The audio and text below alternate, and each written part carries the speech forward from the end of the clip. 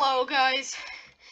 In today's video, we are going to be showcasing the new Bed Wars update. If you didn't know, I'm very out of breath because I am super hyped for what happened. Okay, we're gonna read the patch notes. I am very out of breath.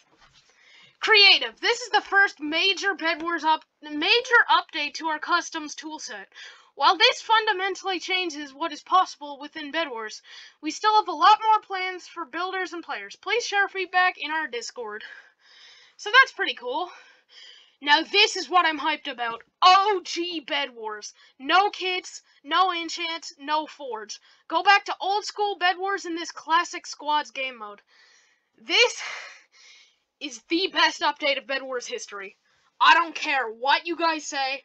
No questions asked. This is not just an opinion. This it's fact. Free kits of the week. Barbarian, Farmer, Cletus, Builder, and Archer. Archer's level 20. Vanessa, Headhunter now fires 3 shots after a 2 second charge. Elder Tree, increased max health gain per orb, reduced size scaling. Orbs are more likely to spawn near the middle of the map. Zeno Wizard, Increases lightning strike damage 15 to 23. Increase shockwave damage 5 to 8. Increase lightning storm damage 20 to 30.